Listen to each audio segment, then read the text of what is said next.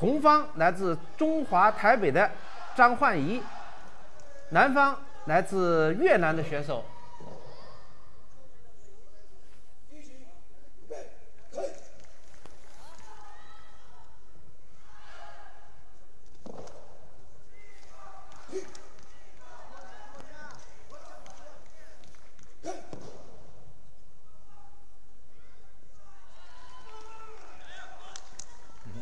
开场就拼拳，拼拳。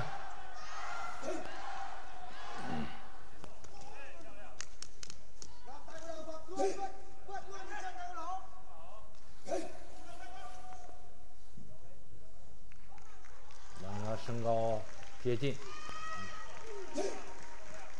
台北选手主动想用摔，看来没成功。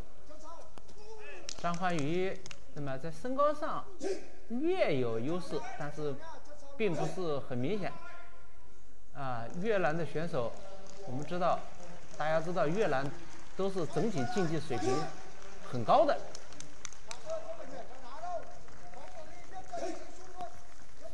我们看看张欢怡能不能为中华台北队拿到一块金牌？嗯，漂亮，抢到一分。哇，漂亮，哎。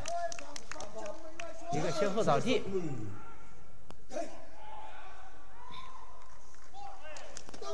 好的，又得到两分。选手的动作也很快啊！啊，这种动作很难将对方推下。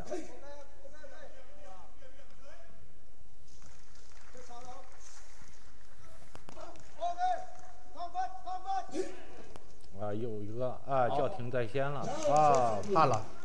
判了，早就在线了。大家也可以看这个男子七十公斤，这个拳腿的速度和这个打法明显和小级别不一样了。那么，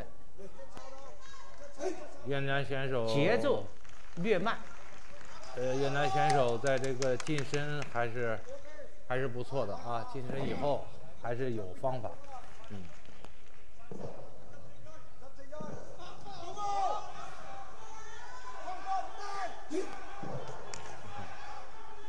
将对方推下去，看来比较难。这个双方的实力也是比较接近啊，谁都没有明显的优势。裁判喊停，那么下台无效。啊，双方的拼打，这个拳腿的都很重，速度也很快。这就是重量级比赛的这个特点。比赛快结束了，嗯，好，第一局比赛结束，我们看看，啊，也是，南方越南选手是险胜啊，还有两位裁判是判平局，那么的的确确他们的实力也很接近。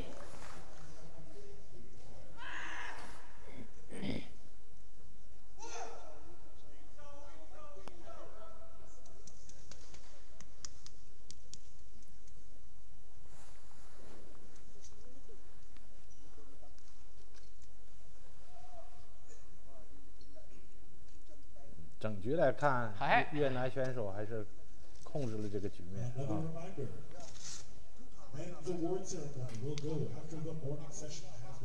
所以这个裁判的比分啊，也反映了这个赛场上的这种情况。那么我们看看双方第二局比赛如何。那么局间休息一分钟，时间已经到。我们说散打比赛啊，局间休息一分钟，那么到五十秒的时候，那么会提示他们上台，做好比赛的准备。第二局比赛已经开始。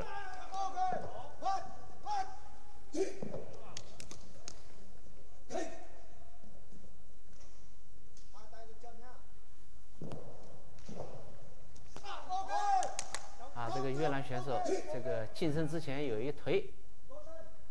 这个这就是抢分的能力。双方啊，真的你来我往，打的现在目前还比较焦灼。这一局哎哎，越南选手，台湾，呃，台北选手不错啊。这个开赛这一段时间啊，越南选手应该在比分上略微领先。呃，看看张焕仪，那能不能够改变自己的打法，那么更为积极主动一些。嗯。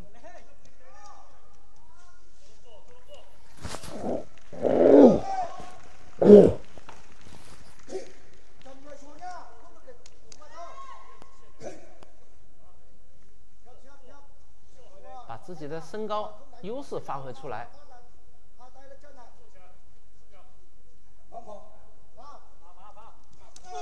指定男方进攻，就双方互不进攻，那么超过五秒，裁判将会指定那么相对消极的一方进攻。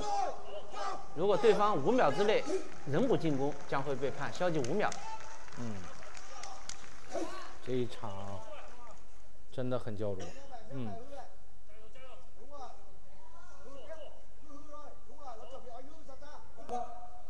啊，裁判又指定红方进攻，这个双方打的还是很谨慎的。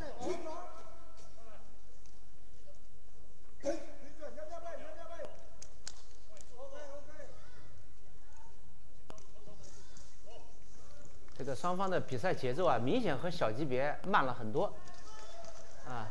很谨慎，哎，哎，大家就是看在这种情况下谁能够把握机会。哎，啊，哇，这就是连续这几下，连续组合的能力啊。在这一局当中，都不得分的情况下，这刚才这一下，这几下可能。就是决定胜负的几下。好，第二局比赛结束。这个越南的选手啊，在这一局当中还是有一定优势。嗯。那么当然优势也不是很大。嗯。啊，四位裁判判他获胜，其中一位判的平局。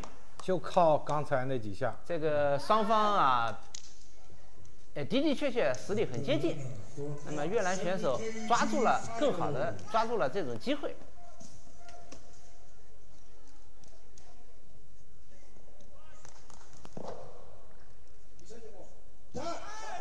越南选手啊，为越南队获得了一块宝贵的金牌，祝贺！那么同时也恭喜台北队获得了一块银牌。呃，台北的张欢怡啊，这次表现也是相当不错的，可圈可点。